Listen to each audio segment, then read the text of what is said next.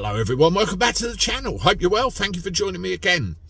You know, on the telly, uh, Nigel Farage did an interview with Good Morning Britain. I, I don't know why, you know, certain politicians go on that program because they're not allowed to finish a sentence more often than not get talked over argued with it's really quite annoying and when i have people on i let them finish a sentence i think they call it common decency and manners at the end of the day but that's another story for another time one of the things that came up was this talk of a, a, potential unification or potential merger with the Tory party. You know, we've got an interesting situation here.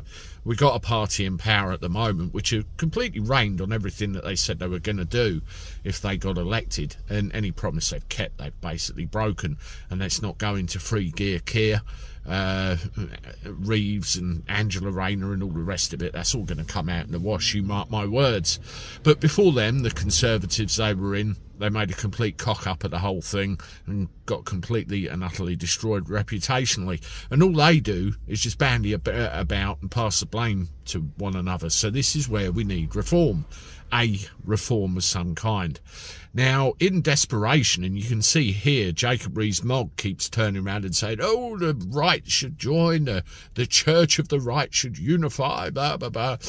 But basically, it's, it's the desperate last dregs of a Tory party that know they're doomed the mainstream media seem to play with this as well. Are they trying to downplay the spectre of reform? Is that uh, is that what it is? I hear, I hear, and I see newspaper articles of Tory politicians coming over to reform. Is that what it is?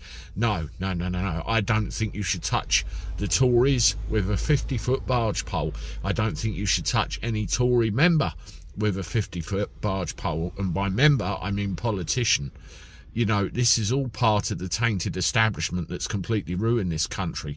You shouldn't have any part of it. If you want any confidence whatsoever in your ability to turn things round, in your ability to kick these idiots out of this house, then you must not go anywhere near them.